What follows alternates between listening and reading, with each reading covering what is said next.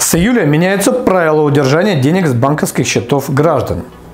Итак, с 1 июля вступает в силу поправки в закон об исполнительном производстве. Как известно, закон сейчас гарантирует должникам сохранение дохода, зарплаты, пенсии и так далее на уровне прожиточного минимума утвержденного для трудоспособного населения по России в целом и или по региону для соответствующей группы населения, если он выше федерального. Здравствуйте, дорогие друзья! Вы на канале Приоритеты с юристом Евгением Корсакиным.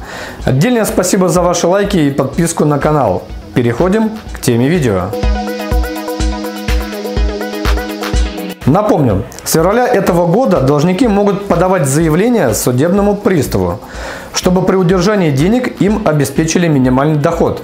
Статья 69 Федерального закона номер 229. Но в то же время закон позволяет направить исполнительный документ о взыскании денег со счета должника не приставу, а в банк, где у должника открыт счет – чтобы тот удерж... удерживал деньги напрямую.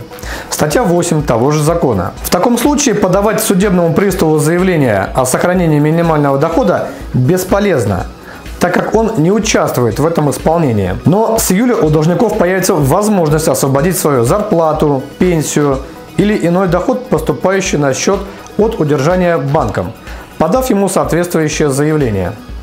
Важно! Правило о сохранении прожиточного минимума применимо лишь к одному банковскому счету. И банк обязан его выполнить проставив отметку об этом на исполнительном документе. А вот для ПФР и других организаций, удерживающих долги напрямую по исполнительным документам, пока ничего не меняется. Закон не предусматривает возможность подачи им заявления о сохранении минимального дохода. Друзья, еще больше новостей на нашем телеграм-канале «Приоритеты».